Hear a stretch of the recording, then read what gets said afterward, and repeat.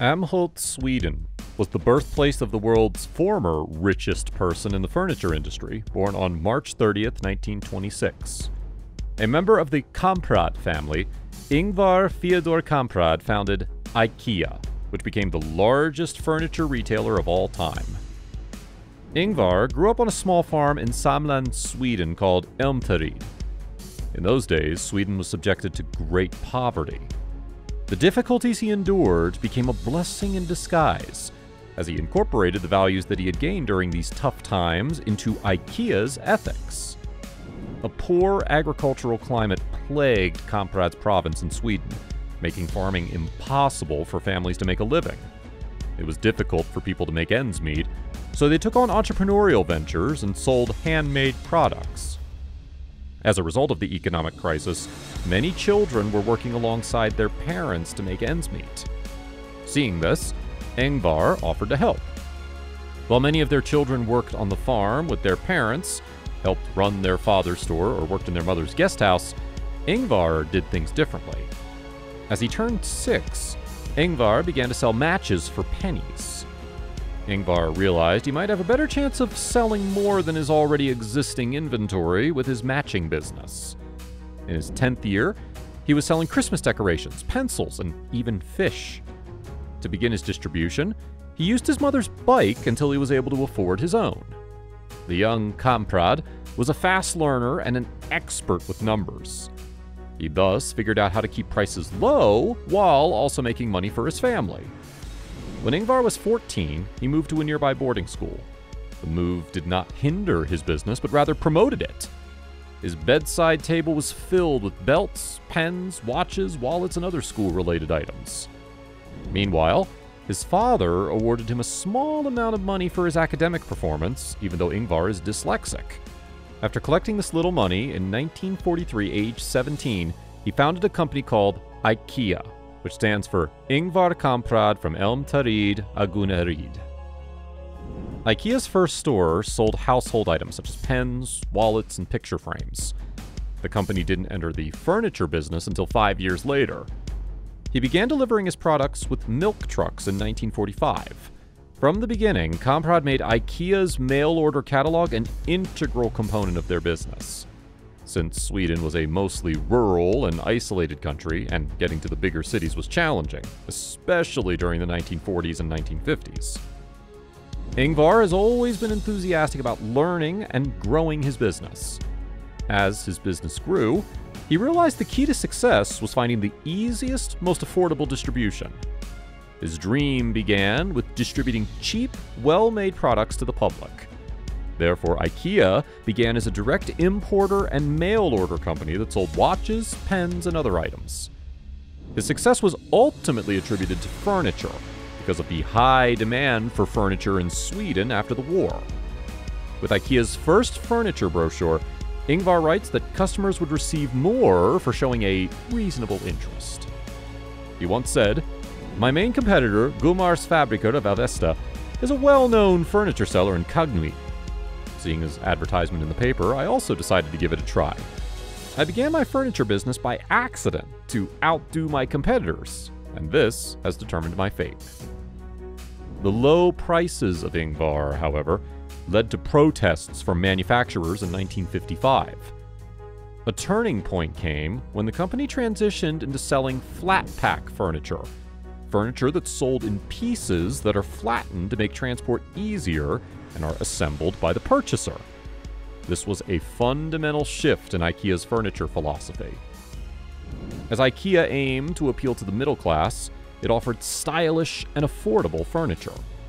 The idea was that Ingvar could offer a unique furniture brand to all sections of society, rich or not, at the same time. By packaging flat, shipping costs and shipping damage were minimized, while store inventories are increased. Ingvar designed and reorganized IKEA stores to satisfy customer expectations. Besides Sweden, the first stores were opened in Norway and Denmark in 1963 and 1969, respectively.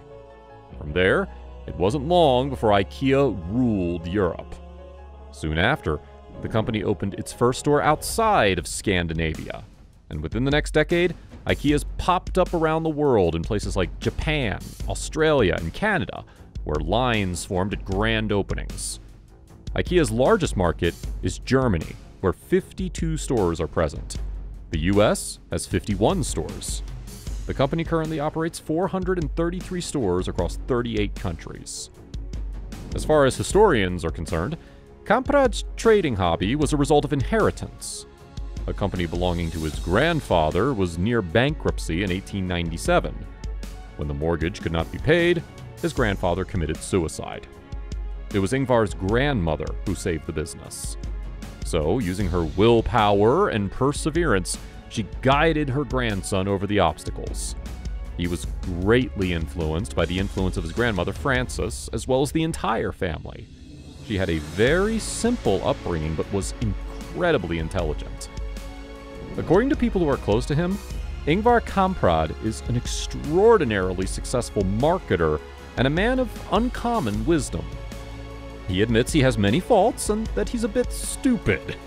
Even so, he remains extremely knowledgeable and sharp. Never once did Kamprad borrow money. IKEA was kept private by him. Over the course of his business career, Ingvar Kamprad earned over $46 billion. Despite his great wealth, Kamprad continued to visit new IKEA stores around the globe until his death in 2018 at the age of 91. During his 20 years of driving the same Volvo, he also flew economy class. The restaurant salt and pepper packets and tea bags from his meals were also reportedly recycled. He had a reputation for being press shy. He never even gave any interviews. When it comes to those strange product names, they follow a systematic system. As Ingvar had dyslexia, he named them in a way that was easy for him to remember. Norway is represented by the names of beds. Sweden is represented by the names of sofas. The Finnish name for kitchen tables comes from geography. Danish names are mostly used for rugs. Scandinavian boys' names are mostly used for bookcases. Adjectives are the names for glasses and cups.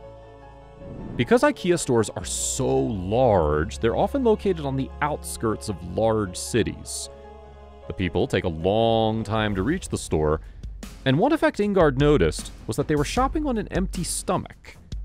As a result, he decided to have a fast food joint in every IKEA store. IKEA has always tried to keep people in the store as long as possible so they can spend more. In fact, today, over 30% of customers go there just for the food. The menu was lighter, with a wide variety of salads, snacks, and desserts. The store forbids selling hot, strong smelling food because its smell would get into the bigger store. The store restaurant was known for its chicken salad and ice cream desserts. IKEA restaurants offer job opportunities to women as well. Back then, restaurants weren't considered respectable places for women. However, store restaurants, which rarely served alcohol, made an exception. Women were able to earn a living and even meet out of the home at these places. Kamprad left around half of his wealth to charity after his death, according to his will.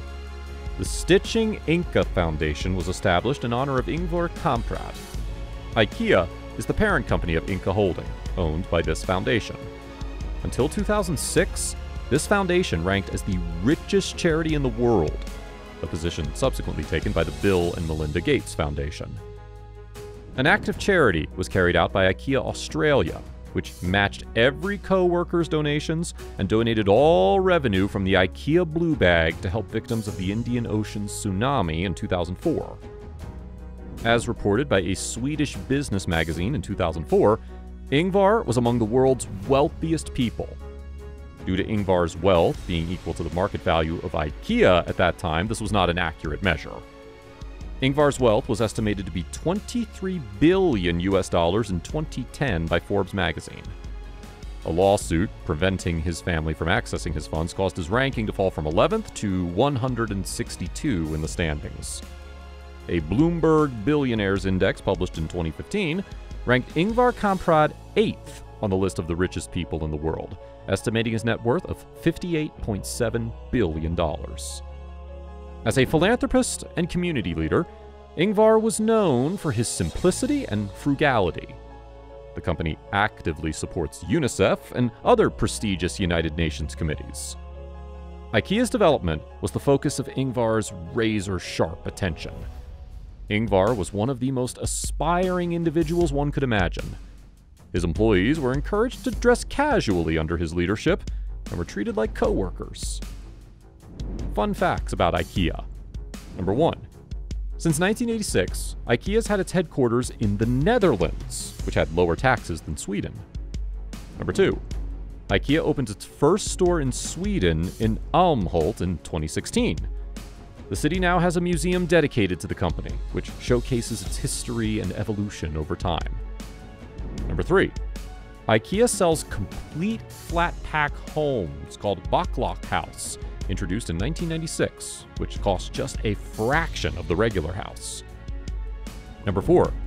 IKEA is building up a real small town in London called Strand East and offers 480,000 square feet of offices, its own infrastructure, restaurants, hotels, and even schools. And number 5. The famous Billy bookcase is actually named after IKEA employee Billy Lagershäll, and every minute 15 Billy bookcases are made. A true entrepreneur Ingvar stands out as a great figure of the 20th century.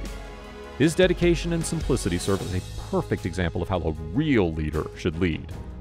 Ingvar has demonstrated that nothing is impossible after founding a company in the face of poverty. Being a great philosopher, he once said, If you're working but are not incorrigibly enthusiastic, a third of your life has been wasted. So, this was the modest story of the IKEA founder. Thank you for staying with us till the end. Hope you liked the video and share it with your family and friends. To get more inspiration, ideas, and advice for yourself, subscribe to our channel and don't forget to hit the bell icon. See you soon.